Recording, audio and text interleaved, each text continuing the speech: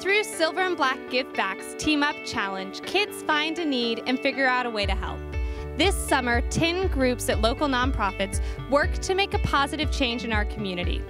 Three of those groups were named Summer Team Up Challenge champions and will receive $10,000 for their efforts.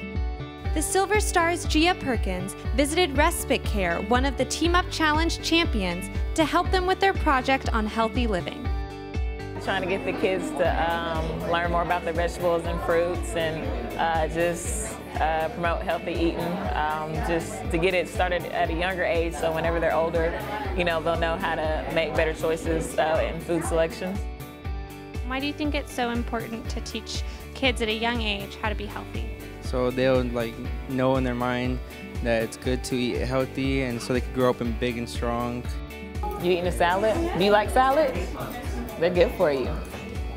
It's not just about eating green, it's about going green.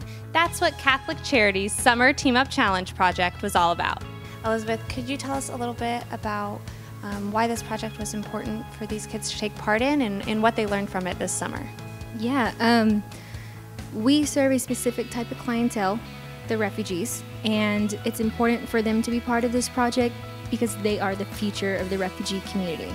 And so we teach them now better healthy habits of recycling. It leads to better waste habits. Like instead of the litters or things all on the floor, you can just like recycle it and it can be a better project and make a better world. Catholic Charities Project overcame cultural differences and language barriers. There are all kinds of differences, though, and embracing them is what Any Baby Can's project is all about.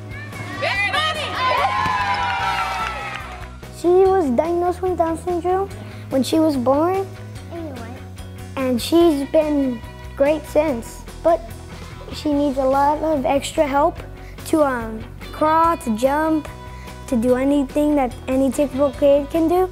But I'm gonna help her do that. Any Baby Can's Fit Kids and Sibs program focused on integrating special needs siblings into group activities with their brothers and sisters. It's not only the part of getting Daniela stronger, but at the same time, they know they are becoming something, you know, part of something bigger than that. For them to recognize that, especially in this case, my son, you know, recognizing that he can do a lot to help.